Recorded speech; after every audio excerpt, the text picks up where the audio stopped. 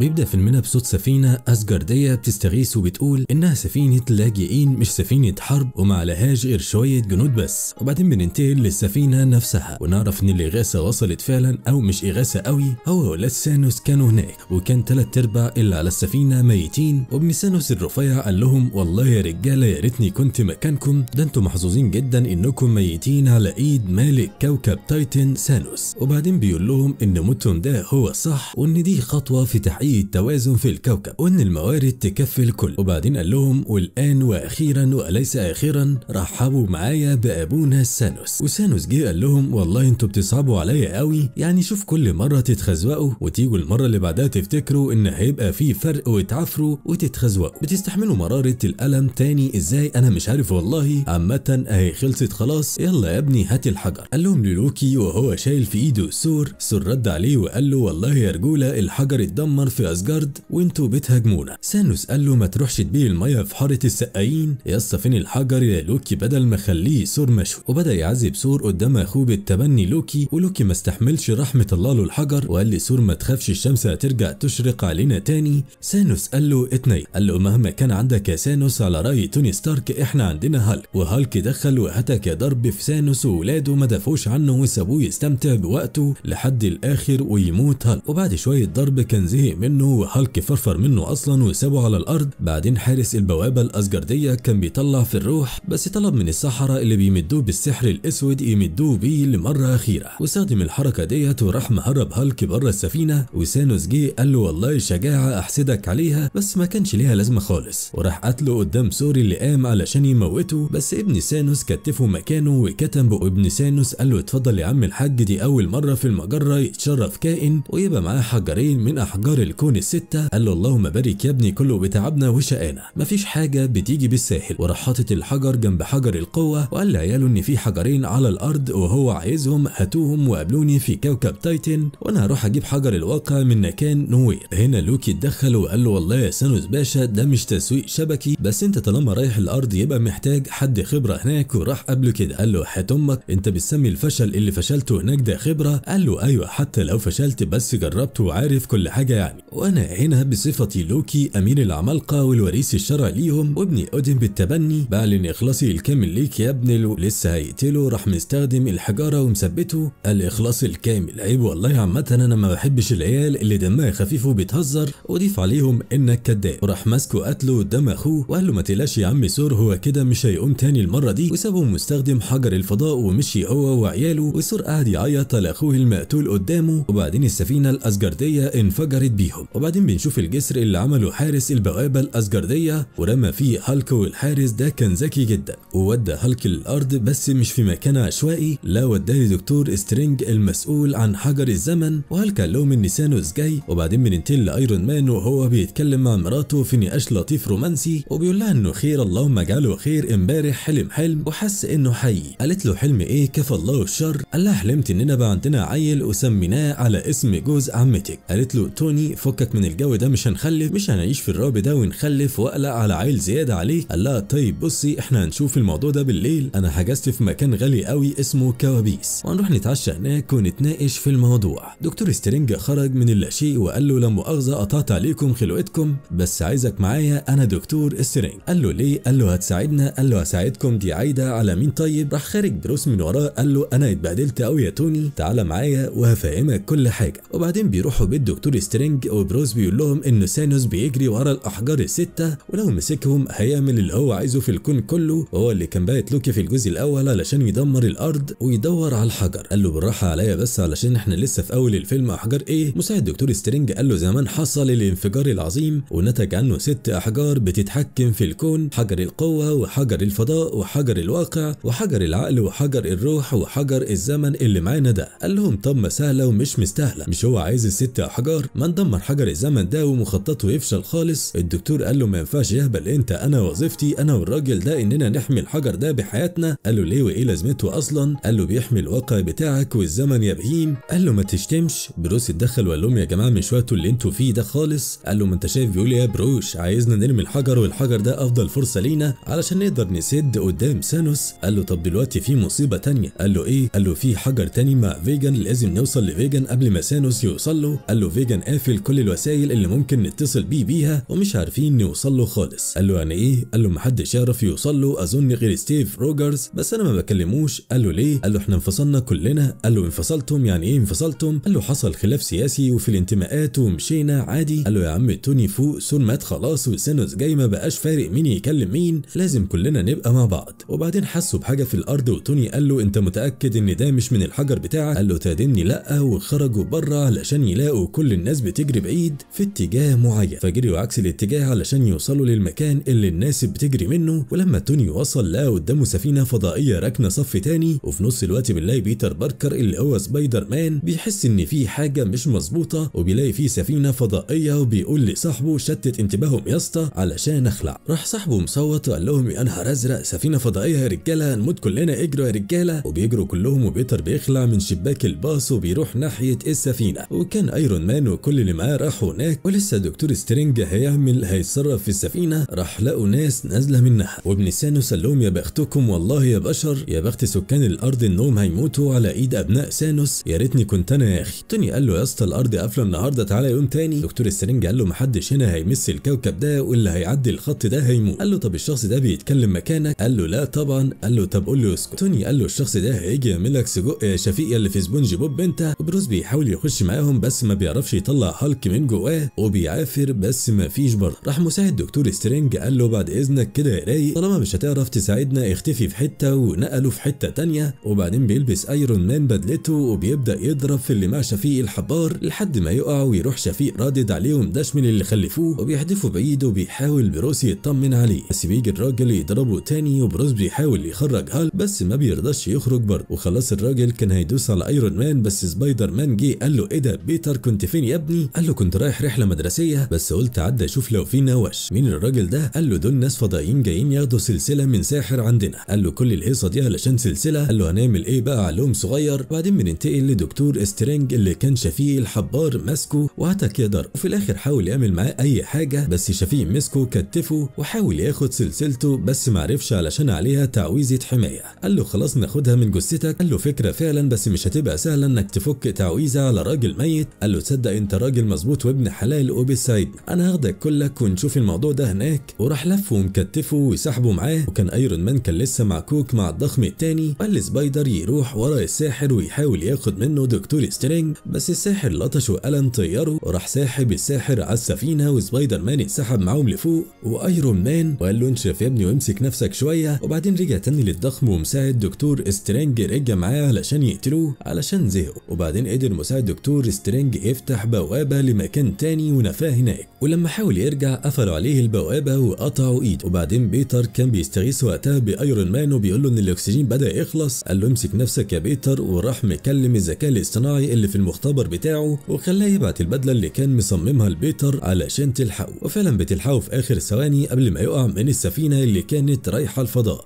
وبعدين أيرون مان بيكون طلع لهم السفينة فوق وقال لبيتر يرجع الأرض تاني علشان ما يحصلوش حاجة. قال له ماشي بس ما رجعش. ومرات توني اتصلت بيه وقالت له أنت فين؟ ما تقوليش إنك رحت عند السفينة اللي كانت ظاهرة في الأخبار. لا لا أنا على السفينة. قعدت تتخانق معاه بس حظه حلو الحمد لله والشبكة فصلت. ودخل السفينة وبيتر كمان كان قدر يدخل السفينة ويقعد جوه وكل ده والشفيق ما خدش باله منهم خالص. وبروس وقتها على الأرض سبحان الله بعد كل الضرب والدعك ده لقى التليفون النوكيا اللي كان ايرون مان هيكلم منه ستيف روجرز. سبحان الله يا جدع وراح فاتح التليفون ومساعد دكتور سترينج راح علشان يشوفوا هيعملوا إيه. وعزم عليه يجوا بس قال له لا اتكل أنت أنا هكلم ستيف. وبعدين بننتقل لحراس المجرة في سفينتهم وروقانهم وهم بيلفوا في الفضاء من أجل لقمة العيش. وبعدين بيجي لهم نداء استغاثة وقائدهم بيقول لهم حلو أكيد هيكافئونا. الثعلب قال له يا ابني بقول لك استغاثة. قال له أيوه ما لما نغيثهم هيكافئونا عادي. قال له ماشي يلا بينا. وطلعوا على هناك. وأول ما وصلوا لقوا نفسهم وسط مجزره قال لهم وطوا الاغاني يا جدعان إيه ده؟ ولقوا جثث طايرة وأشلاء طايرة وقطع غيار تغرق الحرفيين كلها. وبعدين في